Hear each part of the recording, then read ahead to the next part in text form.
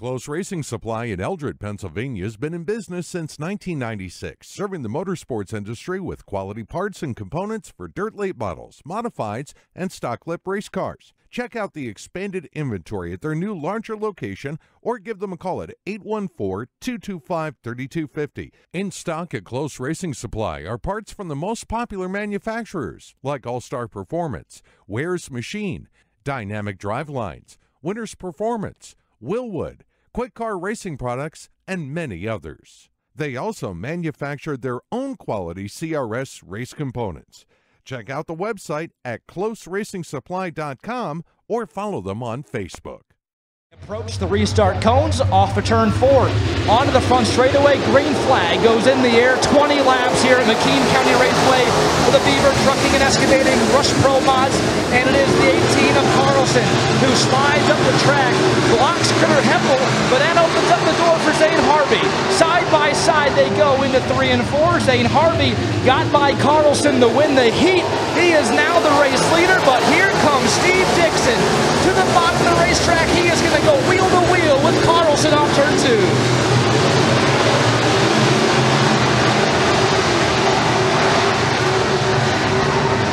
Steve Dixon gets around Chad Carlson, and now he will set his sights on the back bumper of Zain Harvey. Down the front straightaway, one and two. Steve Dixon, he trails Harvey by about three car lengths, but now loses some distance off of turn two. Harvey dials up the low line off of turn four onto the front straightaway. He is still holding a comfortable three car length lead as they spill back into turns one and two.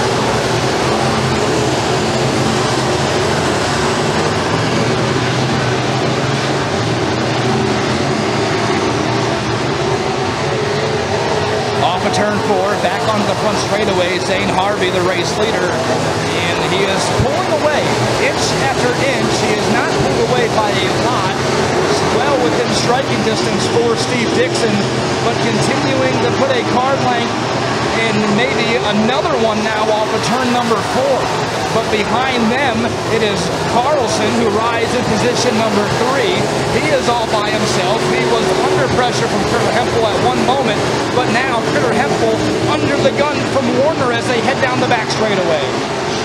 Trouble in turn one. We got one car that has gone for a spin, the 516 of Larry Mitchell Jr., and he gets slammed into by the 9S of CJ Sherwood, and the yellow flag is in the air. Not really figured out. They're three wide off turn four. Green flag goes back in the air. Zain Harvey and Chad Carlson made some heavy contact off of turn number four.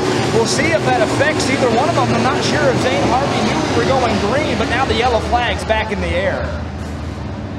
14 laps to go. Harvey will fire first. He does so now. Green flag goes back in the air. Harvey darts out with the race lead. Critter Hemphill literally chops off the nose of Chad Carlson on the entrance to turn one, but Harvey has already gapped both of them. A three-car length lead as they head into three and four. Zain Harvey starting to pull away from Critter Hemphill.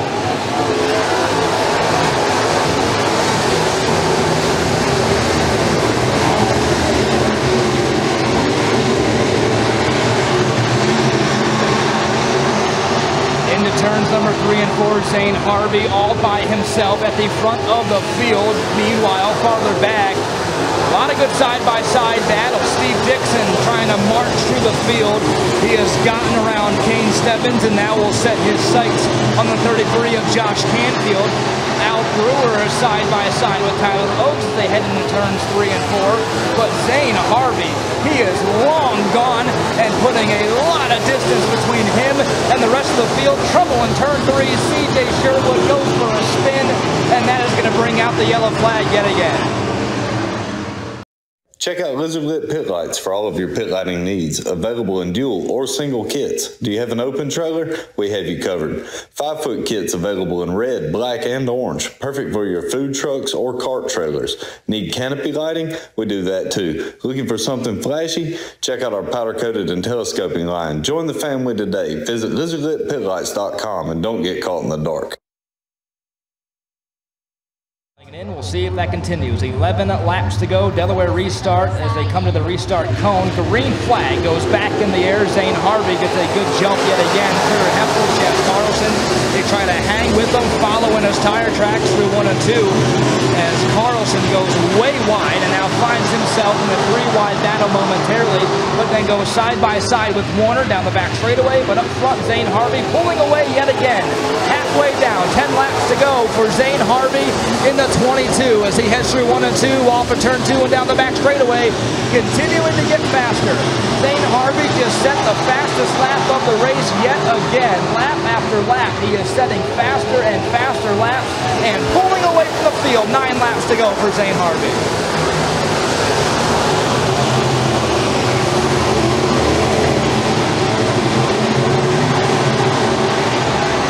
Major problems for Josh Wilcox off turn number two. He goes for a spin, and also the 22T of Tyler Oakes. He has got a lot of damage on the left front of that 22T as the yellow flag is in the air, but the left front tire of Tyler Oakes looks like it's getting caught in the fender but Josh Wilcox has gone for a spin and a stop off of turn number approaching the restart cone. Zain Harvey, he is the race leader, the control car. He will fire first, does so now. Green flag goes back in the air. Eight laps to go. Zain Harvey jumps out to a good two-car length advantage as they head back into turns one and two.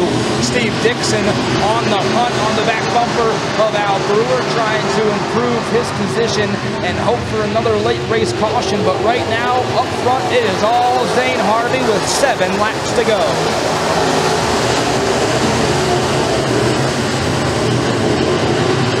And off of turn four, a lap ago, Steve Dixon got to the bottom of the racetrack of Brewer and Carlson. Steve Dixon back into position number four, and he will set his sights on a side-by-side -side battle that's taking place directly in front of him that is now settled.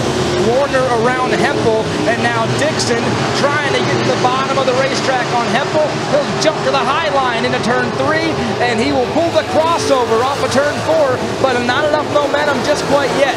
Up front, Zain Harvey continuing to check out from the rest of the field. He is all by himself down the back straightaway into turn number three. Off off the corner onto the front straightaway. Yellow flag in the air. top five, and Harvey has done such a good job being consistent on the restarts. We'll see if that continues. Green flag goes back in the air with five laps to go. Warner tries to stay in the tire tracks as Zain Harvey. He does so, but is losing time, losing distance to the race leader off of turn number two. Off of turn four, back onto the front straightaway, four more times around for Zain Harvey. Back into turns one and two.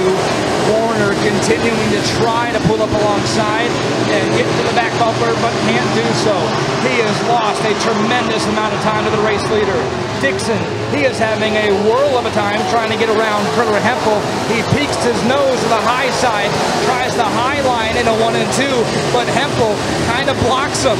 Off of turn number two, Dixon loses a car length to Hemphill, and he is not going to be able to get by Hemphill at least this lap, continuing to have a heck of a time trying to get around him, and this is allowing Zain Harvey to pull away and check out.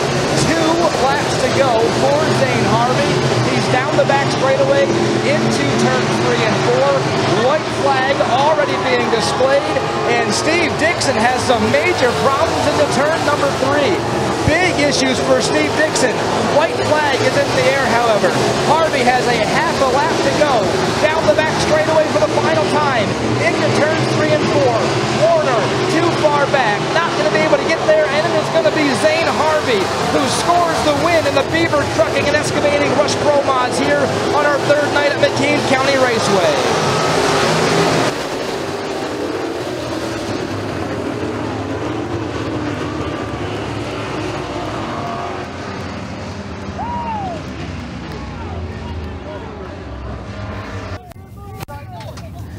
And here he is out of the car, giving up for Zain Harvey in the 22.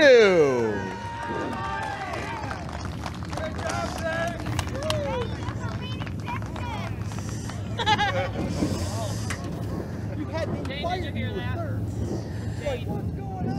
Well, Zain, your career has progressed tremendously over the last couple of years. It took you a long time to get that first career win, and ever since then, you've been checking tracks off one after another, and you did it here tonight, my friend, at McKean County Raceway. How does it feel?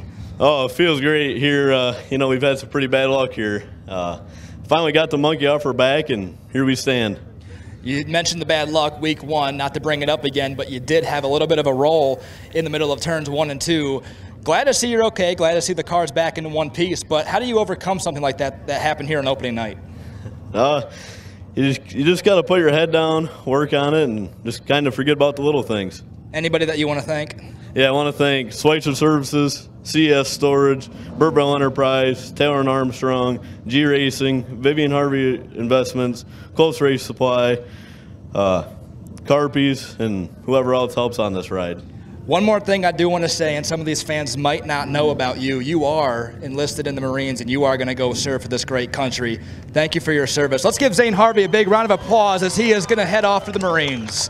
Congratulations on your win. Thank you. Thank you.